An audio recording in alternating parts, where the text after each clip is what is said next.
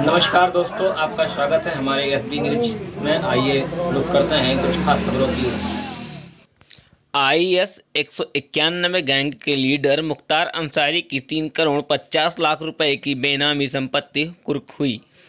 श्रीमान जिलाधिकारी गाजीपुर महोदय ने गाजीपुर पुलिस की आख्या पर विचारोपरांत गैंगस्टर की धारा चौदह वन के अंतर्गत आई एस एक सौ इक्यानवे गैंग के लीडर मुख्तार अंसारी की माता राबिया खातून के नाम से दर्ज महुआबाग स्थित भूमि प्लाट के कुर्की के आदेश जारी कर दिए।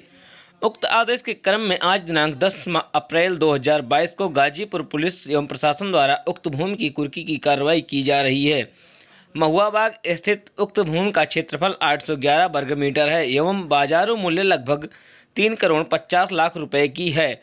उक्त कुर्की को मिलाकर अब तक गाजीपुर पुलिस एवं प्रशासन द्वारा मुख्तार अंसारी की लगभग 60 करोड़ रुपए की संपत्ति की कुर्की की जा चुकी है तथा मुख्तार अंसारी गैंग से संबंधित लगभग 100 करोड़ की अवैध संपत्ति का ध्वस्तीकरण किया जा चुका है। देखिए क्या कुछ कहा प्रशासन।